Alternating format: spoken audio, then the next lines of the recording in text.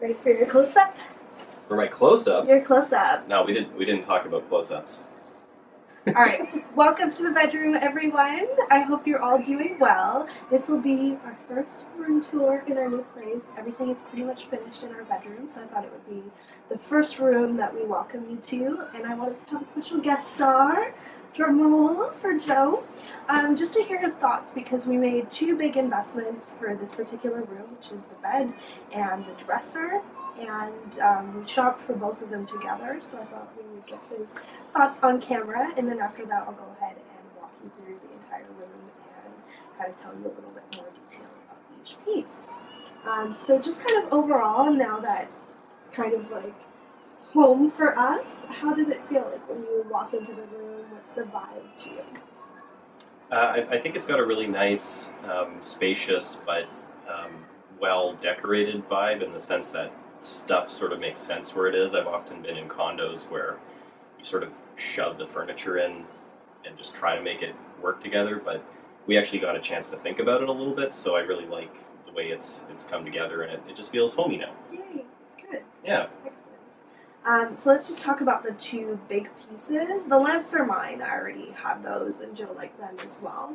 Um, and then, really, what we decided to do was to make two big investments, and then those two pieces would be the kind of showstoppers of the room and really make the room. And we got two pieces as well. They're both large sizes, and I think they've just come together really well, and they fit um, the room just so beautifully, and really kind of make it feel decorated without needing a lot of extra little tchotchkes everywhere. So is that something that you like about the room? Yes.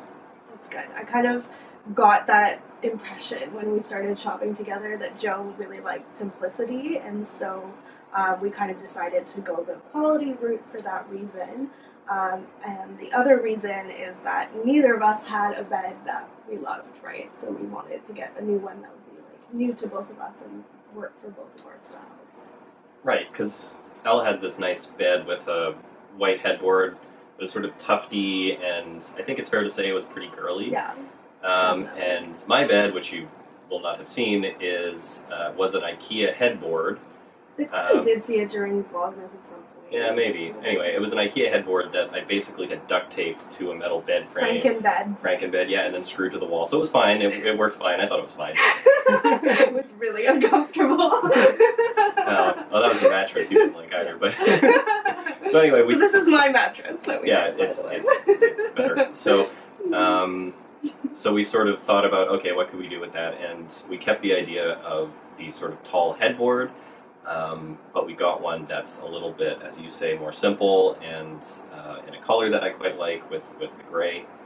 And uh, we got the wings that you were really excited about. Mhm. Yeah, I looked at a lot of photos of hotel bedrooms, and a lot of hotel rooms that I had stayed in had very oversized headboards. And so I started wondering whether that's something that might fit in a condo sized room. And I think it does, as long as you really kind of make that the centerpiece of things. And once we found this particular one, it was just like it was a mixture of both of our styles because it doesn't have a lot of tufting, but it still has some texture and interest of the grid style to it. And I think the wings to me just make me feel immediately cozy and like the room has a bit of a luxe kind of classic vibe to it. Very neutral. Um, oh, something else I wanted to ask you about is the cushion. So I know you're not a huge cushion person and like decorative pillows and all of that, but you finally kind of found one that you get along with, right? Well, that's it's that's more because it's long and it's good to like sleep with. Yeah, it's actually like a comfortable one. So if you're reading in bed, it's good to prop up against. So I'll talk about that more in the video, but it's a good option, I think, if you want something that's not too fussy. And then the best part of all, I think, is our beautiful dresser. It was more than we were originally planning to spend, but both of us really um, love it. And I just think it's such a classy vibe because it's um, mul- mixed media. It's got wood and metal to it, and for that reason, I think it doesn't feel too kind of ornate to you. Yeah, and it, it goes both with the wooden nightstands and with the gray upholstered bed. Mm-hmm. So, and it's got cool knobs that sort of remind me of the Jetsons a little bit, but that's just the personal. Yeah, no, definitely. It's it's a mid-century style, Yeah. so I think Um, it has exactly that vibe. A little bit industrial, but not too much, and just really showcases like beautiful wood, and it's very like smooth, and it's got that nice slide when you open and shut the drawers. It's like I was pulling, and I was organizing them today, and it feels nice when you do it. Okay, I'm gonna have to play with the drawers more. It sounds like. Yeah. Yeah. To do. Anyway, so I think that is probably it for our thoughts. Do you have anything to add? No, No? I think we've covered it. All right, well, it's time for the grand reveal then. I hope you guys like it. Thank you so much for joining us, and make sure you subscribe if you want to see the rest of our room tour reveals. So, if you'd like to see a tour of our new bedroom, then keep watching. Enjoy. So, first of all, I'll give you a broad overview of the room from left to right, starting with the dresser, then the nightstands, and then over to our Greyson bed, which was purchased at Urban Barn, and it's a queen size in the dark gray color.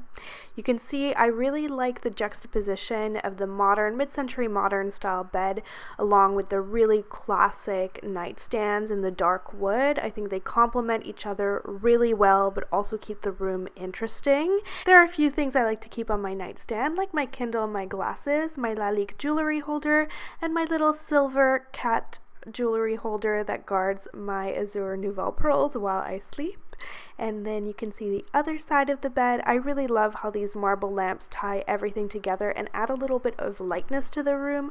They're from West Elm. They were an investment, but they still look beautiful. And I think they add a little bit of an Art Deco classy vibe to any room that they're in. You can see Joe's side is a little bit on the more spare side with a phone charger, his watch stand, and his Kindle, which was his um, birthday gift last year.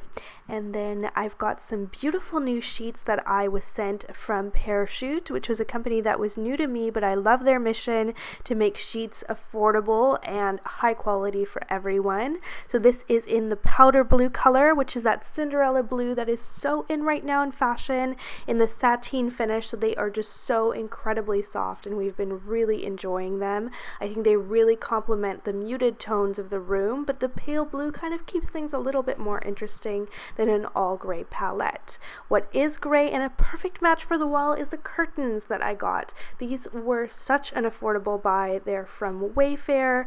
They are a linen type finish, but there's something about this particular linen, and trust me, I did a lot of research on this, that is heavy and doesn't wrinkle too much. So you can see it has a little bit of texture, but not too much. And they're actually blackout curtains too, which Joe needs to be able to sleep.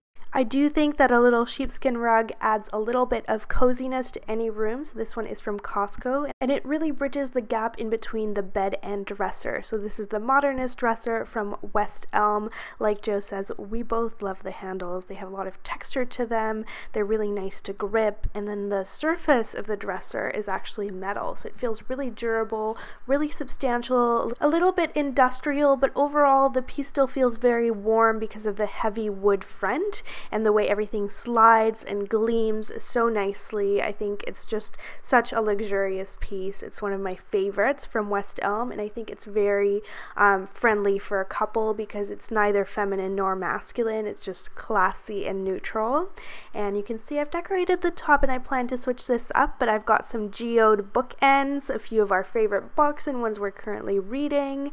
On the right hand side, I have my current favorite perfume, favorite lavender candle from L'Occitane, a little tray from Anthropologie that uh, reminds me of my birthplace. So you can see I've tried to keep most of the surfaces decorated, but still kind of sparse, and it's finished off with my jewelry box from Pottery Barn, which I will link down below as well. I think it adds a nice pop of color to the room actually, which is then accented by the cushion on the bed, which is from the Bay from the Bluebell Gray line.